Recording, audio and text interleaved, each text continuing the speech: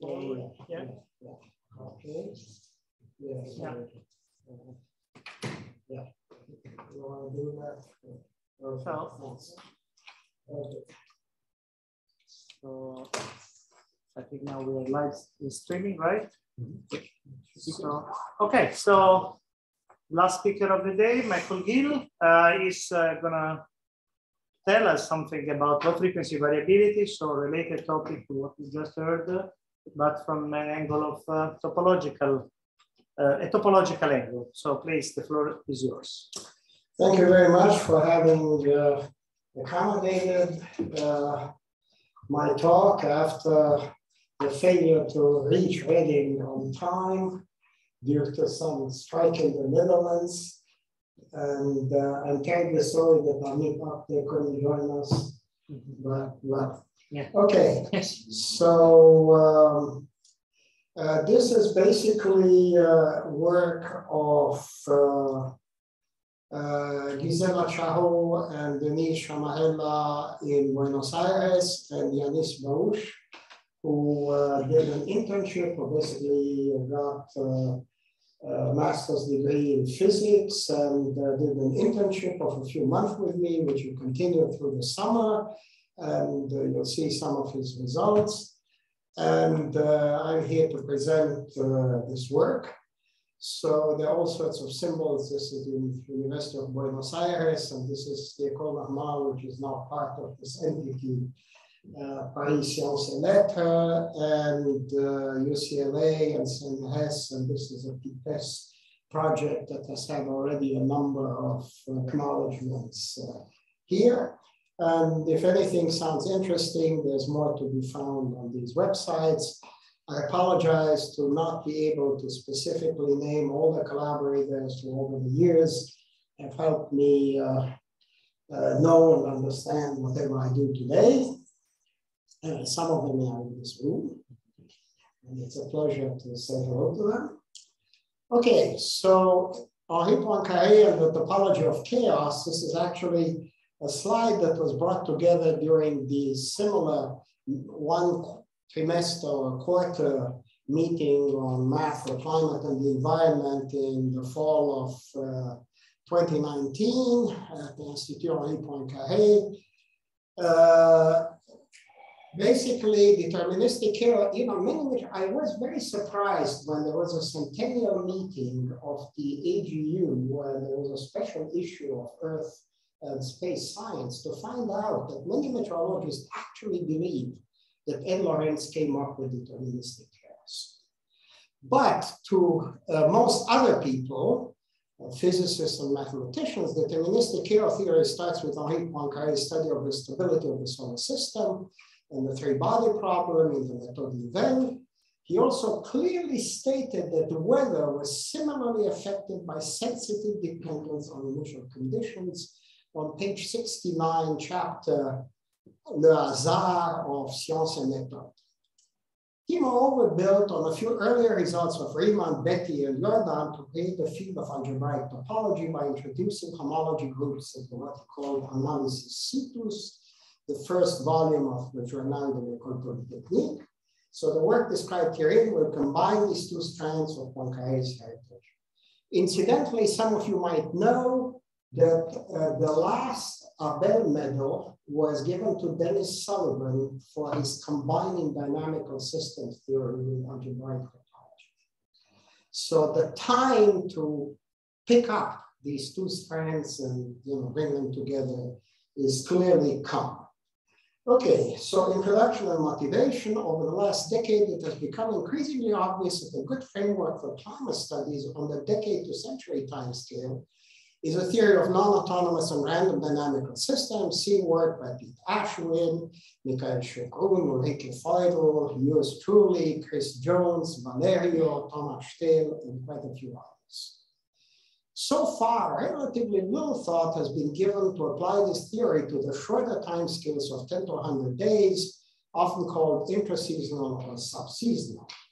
Still, these scales of atmospheric low frequency variability in other words, basically longer than the lifetime of uh, baroclinic eddies, you know, weather, and shorter than a, I mean, basically the length of a sigma, are affected by subgrid scale noise as well as by anthropogenic and natural forcing on various time scales, such as ENSO effects on interannual time scales at the mid-latitude weather. And I have some references that I couldn't include in the list at the end on the slide itself. So Stefan Vannitsem with Nathan Demaeyer and myself uh, published just last year, a paper on extratropical low frequency variability with ENSO forcing, reduced over a couple of models studying James, the DOI.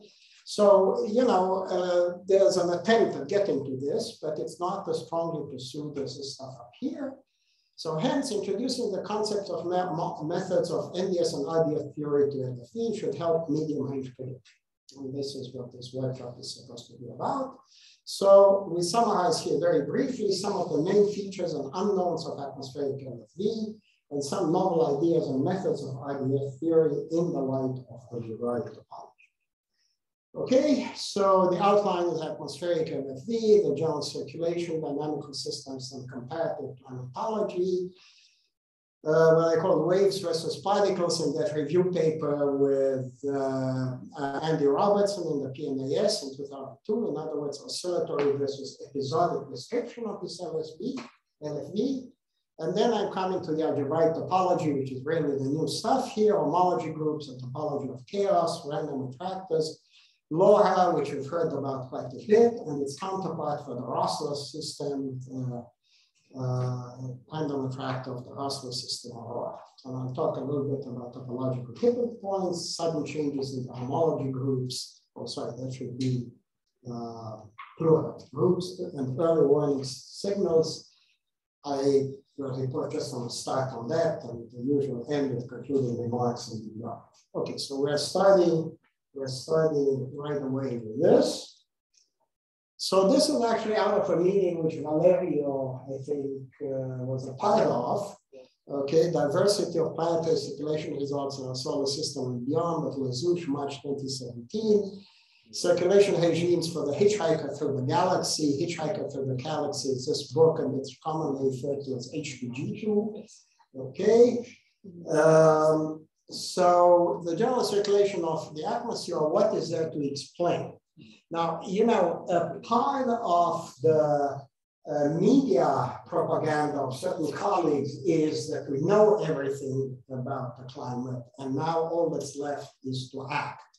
I agree with the latter part of this statement, that there's a lot to do about acting. I do not agree that we know everything. So you know, this is just a very schematic view of the general circulation of the, uh, of the atmosphere of Earth. Why doesn't the Hadley Earth extend to the poles like on Venus? Why is the mid-latitude circulation more highly variable than the tropical one? So this is something that we sort of looked at with Stefan and Jonathan. What is the whole of topography, both mechanical, actual mountains, and thermal, land sea contrast on mid-latitude Earth? And this is just uh, what I call dynamical systems and comparative planetology. This is a, an idealized version of the regime diagram for um, uh, the uh, uh differentially heated rotating annulus. You know, this is the logarithm of uh, the Taylor number, and this is the logarithm of what I call the Hide number. It's usually called the thermal Rossby number, but it has nothing to do with Rossby. So basically each one of these lines is a line along which you change the rate of rotation of the annulus, maintaining other things constant. And uh, these are uh, essentially um, uh, boundaries of distinct regimes. This is a simple Rossby wave regime. This is a vacillation regime. This is quasi-geostrophic turbulence, and this shows Earth is here, Mars is here, Venus is up there, and this is Titan, okay? So this is out of a review paper in astronomy and geophysics, uh, which we wrote for the 80th anniversary of Raymond Hide. Studied a lot of this stuff. Okay, so yeah, waves versus particles. So uh, this is a very old uh, slide of mine. There's a better version of this in the paper that we wrote with Andreas Groth and Andrew Robertson and um, ah, one more person in this volume uh, on S2S uh, uh, predictability. Either regimes, but slow phases of the oscillation. So here is your, you know, this Frank is what you showed us, you know, uh, the PNA, the reverse PNA, which you call negative phase, and the block NAO. Okay, so this goes back at least 20 years. Okay, so this is blocked and zonal just despite the slow phases of an oscillation. Either oscillations, but instabilities of particular equilibria, which was the case in the PhD thesis of Bernard Legras published in JASS in 85. How about both chaotic itinerancy, uh, uh, Hisarito and Masakimoto? How about neither? Null hypothesis. This is sort of Dick Lindsay. You know, there's nothing nonlinear to talk about. Everything is just phases of linear stuff. Okay, so, and then it's all due to red noise, which was published independently in 76 by both Klaus Hasselmann, as we all know, but also Murray Mitchell, Copernican Research, etc. Okay, so, you know, we're still there. Uh, but maybe this one is a particularly plausible one. Okay, so now on to algebraic topology. Uh, okay, I won't take too much of this, but just give you a taste of it. Some of you know already more, some of you know less. The search for something computable to identify topological properties, in other words, those that are invariant to stretching and bending and stuff like that. Allows to turn a topological problem into an algebraic problem. So you have to understand that this is very different from what's called usually general topology or point set topology, okay, which is, deals with things like continuity and differentiability and limits, da, da, da. Homology seeks to make a distinction between topological spaces by determining the number of non-equivalent n-holes contained where n designates the dimension essentially. What is an n hole? This is a zero cell. This is a one cell. These are two kinds of two cells. And a lot of the computational effort goes into this having minimal descriptions of these holes. Okay, so this just gives you details of how you do such things, but I don't have the time to go into that. So an oriented cell complex is a simplified uh, structure, uh, such as a connectivity map of the cylinder. Is, uh, you know, what about the difference aside from the cells? There's also orientation. So what about the difference between a standard strip, a cylinder, and a Möbius strip? So again, the zero group is just connectivity. Both of them are connected. H1 uh, is uh, is essentially one hole, okay? And then, however, the difference is that these, the two sides are, are have the same direction, while in this case, they have opposite directions. So here there's no torsion, and here there's torsion. So orientability chains allow one to identify torsions in an oriented cell complex. Now, what about the connection to chaos? So this basically is taken out of uh, the famous review paper of uh, Robert Gilmore in Modern Reviews of, uh, sorry, Reviews of Modern Physics. So this is a time series, this is a embedding projection onto a plane, and this is a simplified structure of the flow, okay, which shows the holes. Use topology to understand the flow dynamics. So do the reconstruction of the state space by the method of delays, and you get a branch manifold. So really, the, the difference, I should say that there's a lot of algebraic topology around these days, but the methods used in classifying statical structures are essentially based on the idea of persistent homologies that have nothing to do with dynamics. And furthermore, are not very good at very large number of points. So uh, the idea of really patterning uh, a, such a construct on a branch manifold goes back to the PhD thesis of Denise Sciamarella in 1921. Uh, uh, sorry, 1921, I mean 19, 2001, 1999 and 2001. Okay, so now chaos topology, the dynamics on a deterministic attractor can be compactly described as a limit of a semiflow on a branch manifold. Its topological description encodes the invariant cluster of the attracted phase space, describes a topological organization of the trajectory of the attractor. So this is a well-known picture of just a point cloud of the usual deterministic strange attractor of the Lorenz uh, system. And this is the branch manifold that corresponds to it. You see all of these are cells which have been constructed. And there is essentially a to one torsion and constructing uh, branch manifold from data amounts to approximating cloud of points of phase space by Euclidean closed sets, essentially disks and their generalizations to higher dimensions, forming a cell complex and then identifying the branch manifold in homology groups and torsions associated with the cell complex. Okay, so uh, here is, uh, so we call this BraMAH branch manifold analysis through homologies, uh, but uh, uh, this goes back to this work of Sciamarella and, Mindlin. So again, this shows in greater detail how you uh, get out of the cloud of points the cell complex. So this says it's connected. This says it has two holes, and this says there's nothing more. Okay. So application now to random attractors. So from deterministic, we're now proceeding to pull back attractors of a random dynamic system.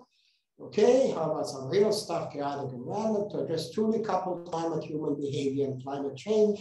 So I'm back to the longer time problem. I'm not really talking yet about the uh, uh, low frequency variability to address truly coupled climate, human behavior, and climate change. Important step is to examine time dependent forcing what the framework is. I told you motivation was uh, this remarkable uh, uh, video called A Day in the Life of the Lorenz Model Random Attractor, LoRa. So it's uh, short uh, and poor resolution version appears as a supplemental information in this paper. And the high resolution version, which many of you have seen already, is a Vimeo movie on Mickaël's uh, uh, site at UCLA. So LoRa evolves in time. Does this evolution include changes in the topological sense?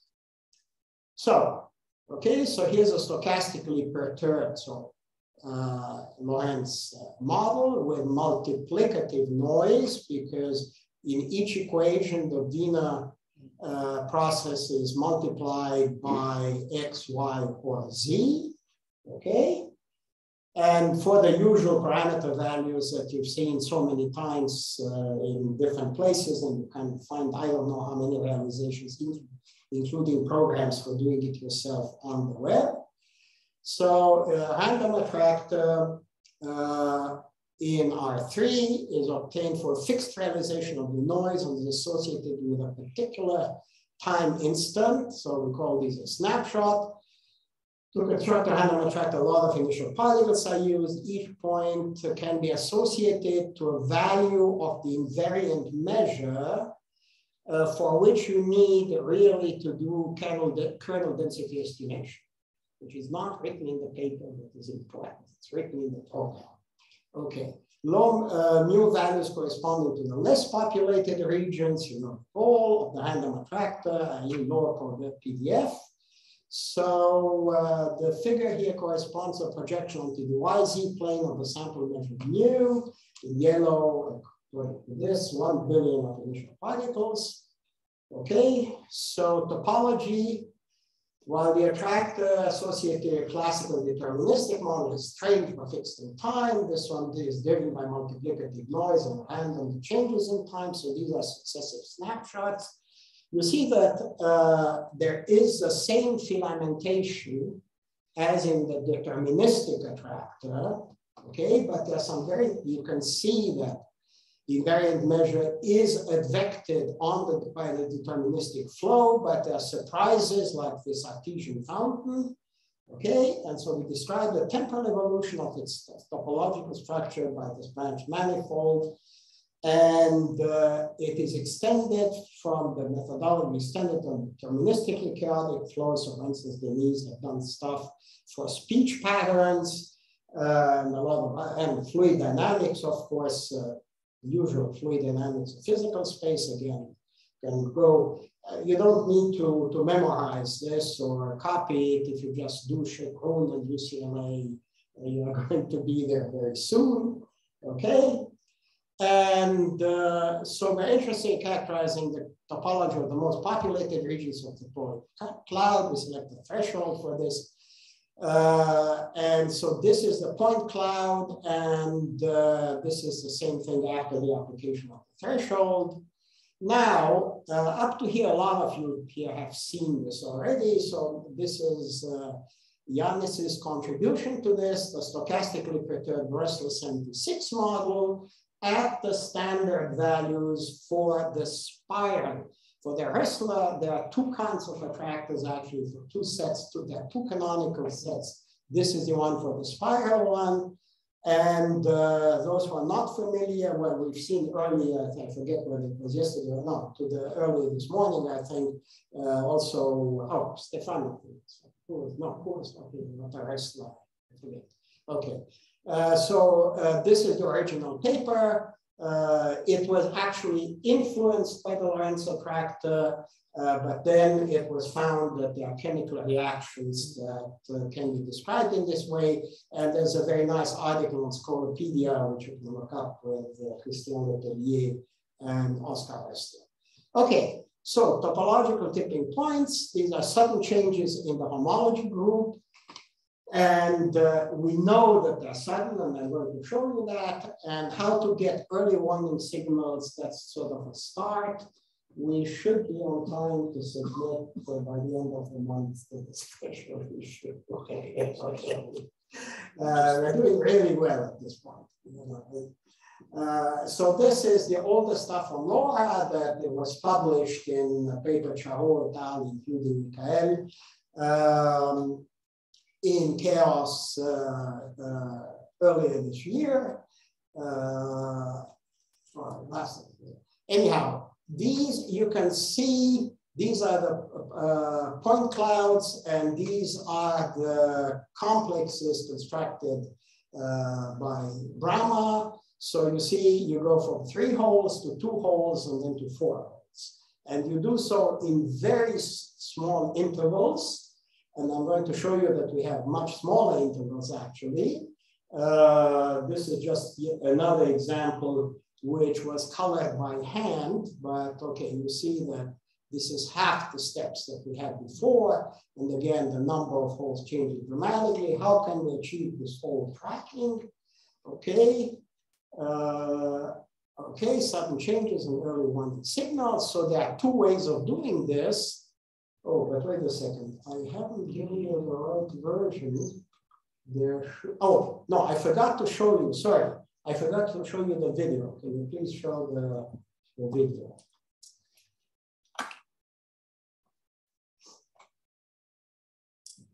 Okay, so you are immediately going to see that this is much more three-dimensional than LoRa.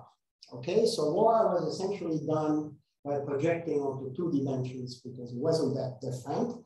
Here we're having distinct problems. We have to do kernel estimation in three dimensions and various other things. Anytime you apply any methodology to something else, you get some new thing. Let's go back to the,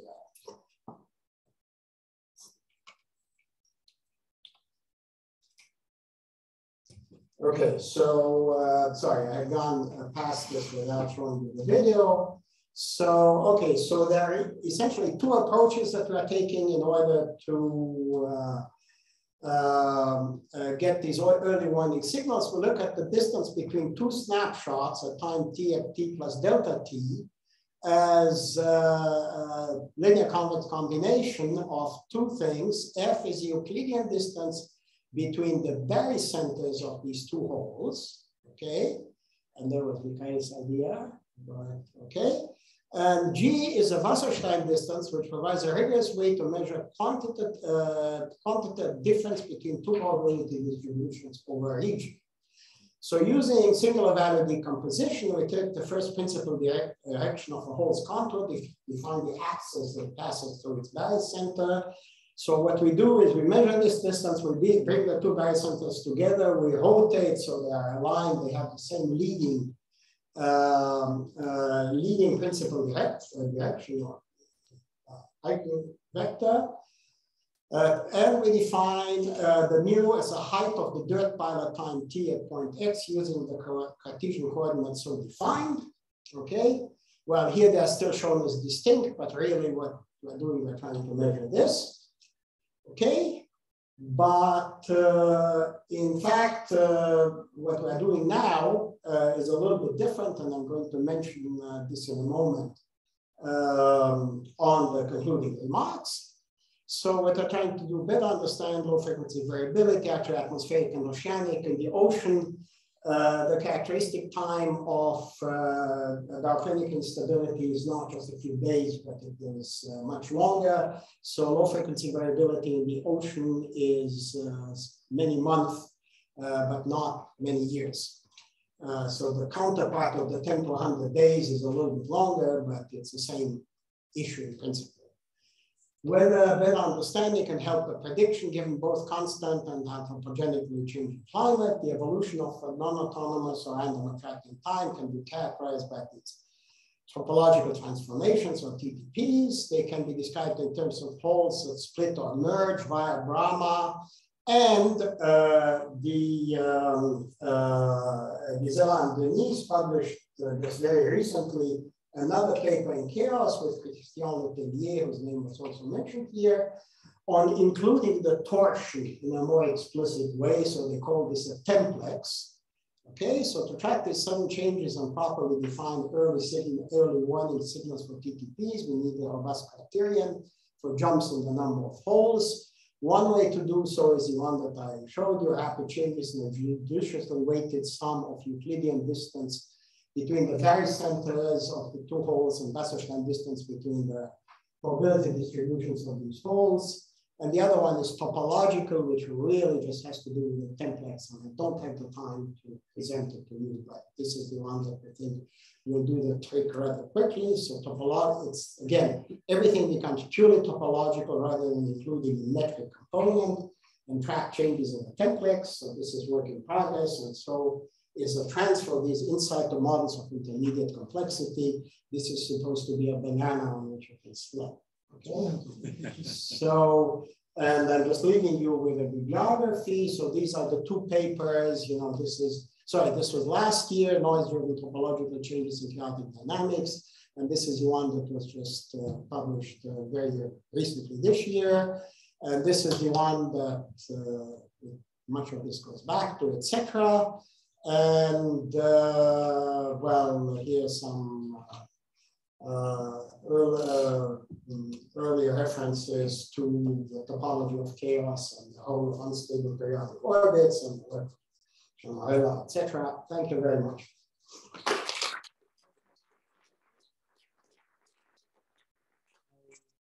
Thanks a lot. Uh, I, I've seen uh, the later presentation this time was much clearer to me as well, actually. And so I, I feel I've learned more.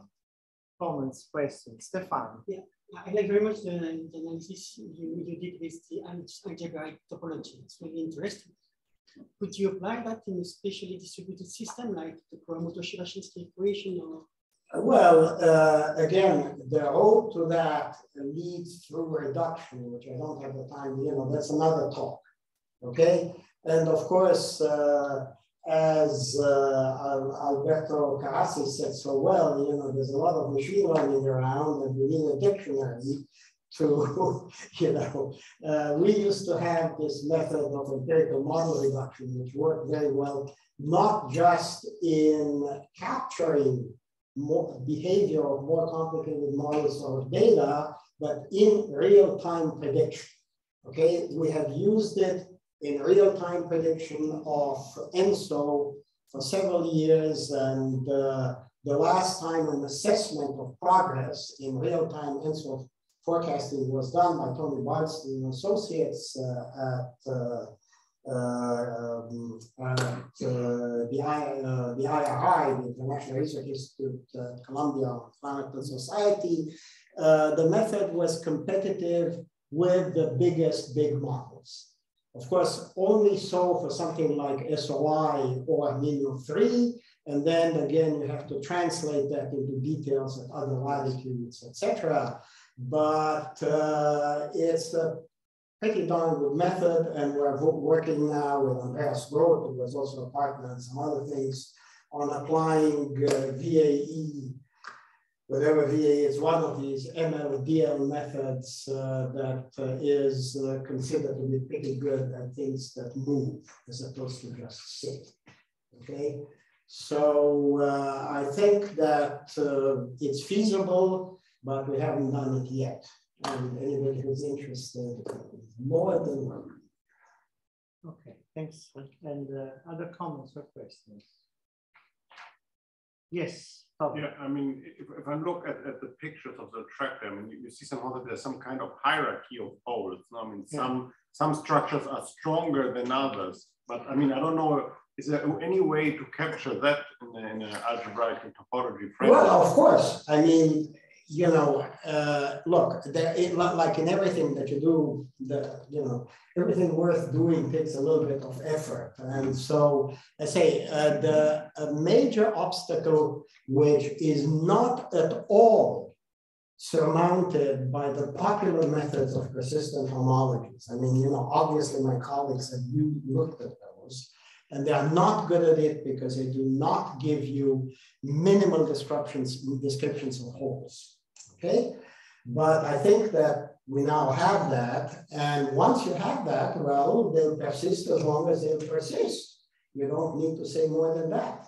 You know, you just need to see when they split or merge. Okay, and they last what they will last. You know, you might suspect that the small ones are more uh, fragile, but that's not necessarily so because clearly the holes around the convective uh, fixed points of of LORA are there to stay. Okay, yes. they, they are small and they are there. So you know, it doesn't. It has to do with the underlying nonlinear deterministic dynamics, and it has to do with whatever. You know. Yeah, yeah. So, uh, quite frankly, something that I didn't put down as a, as a question, but we do not, uh, you know, the the two uh, the two uh, Porteñas, uh, you know, uh, have done a lot of applications of BraMAH to, to real flows, okay, in, in, in, physical space. And it works very well. And, but we haven't, what we don't have is really a good understanding of what exactly in physical space the topology reflects. Mm, yeah. Okay. So clearly these topological tipping points are much richer than other things because we know that there are critical transitions which are not just folds, you know, uh, uh, back-to-back saddle node bifurcations, not just Hopf, not just this. Uh, you know, we have, for instance, a paper on which again, Michael was uh, the lead author in this book edited by uh, Tassos Tsonis uh, from a conference in Rhodes, 30 years of nonlinearity in the geosciences, uh, with a very simple ENSO model where there were some critical transitions which were much more subtle, okay? Uh, there was uh, fingering that uh, changed drastically, you know. So there is a hope that these TTPs will capture things that are way more complicated, you know, uh, transitions between different chaotic regimes, etc., which are not currently described by, uh, uh, you know, Pete uh, topological, that's why um, tipping points, you know, BN and R. so, so this is, there's now BN, R, and T. okay. The much referred to wonderful uh, MD Shakur. No, no. The right like, number of C and no, K. The, the, the, talk like was like, a, uh, you know, as, as you, you, you said often, Michael, like it was nice to see it like put it in the plain English, which is not easy on this algebraic topology stuff, you know. Yeah, yeah. So, so, uh, uh, and I have a few more slides on the algebraic topology. no, it was like, and actually it occurred to me, like during this talk, you know, when we look at the, the movie that is on the website, we can see that there is like sometimes the noise interacting with the non-linearity so that, you know, there is a shrinking of the attractor, which will come with like a merging of the holes. That you know, you mentioned that you have a, a new way of, of the and, Yeah. uh, and uh, they, they have a new way to like uh, um, You know, this was the, really, the torsion. no, it was really a eureka point because we were struggling with this metric definition. No, no, I'm, not talking about the metric. I'm talking Yeah, about no, like, no, it's a template. I mean, yeah, it, that- that- it that- is, because like like when there is the hole merging, before that there is a torsion of the attractor. So I'm just thinking if if you have like a new way now to compute this or quantify distortion, that could be like also a way to anticipate maybe this. well, no, that's, that's really the idea. That, that's really the idea. That we are trying, that we are trying to, and it, it, uh, uh, you know, uh, is computing snapshots, uh, you know, as, as we are talking here. Okay. Right, and you see also this like shrinking of the attractor for the ROA. Uh, for, oh, I mean, look, this guy, all he was doing was an internship. As you remember, it was two years ago, there was a guy who was a Normalien physician who never got to, who never got even to integrate the SDEs. Uh, Yannis, on top of everything else, he applied Milstein rather than Euler Maruyama, which gives him a smoother aura. Okay, so that's already one of the things. And uh, I, I don't know whether for the end of this month we'll have the thing for both Laura and Laura, but we'll have it for, for Laura. Because really, as I say, the key is having the minimal description of the holes, which is not given by all these specific PH algorithms on the web. Okay, they're totally deficient. They're not, you know, I mean, they're, they're good at what they're good at, which is, you know, uh, classifying uh, uh, friend and foe tanks and various other things like that. Uh, On this note of friend and foe tanks, and I would like to ask a, question, not about tanks, fortunately, but uh, no, the, so, I mean, when you, I just had an idea, probably it's quite triggered. So are these all associated, could be associated to some sort of the composition of the flow in something that's like gradient like and the rest. So they have, these have to do with rotation. I mean, my intuition. So, you know, if you have a hole and the mass rotates around it.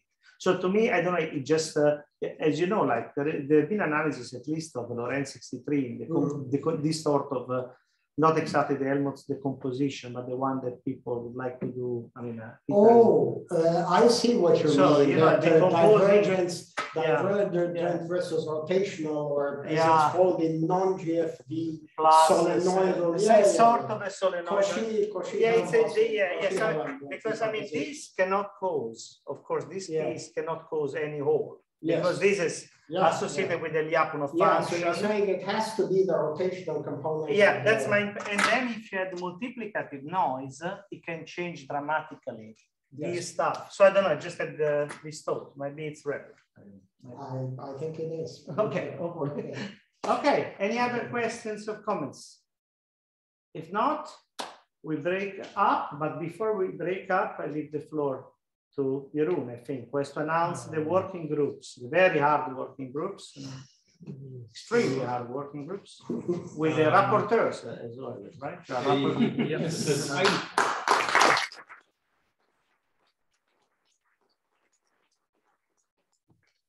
Michael, and thanks all the speakers. Yeah. And uh, yeah.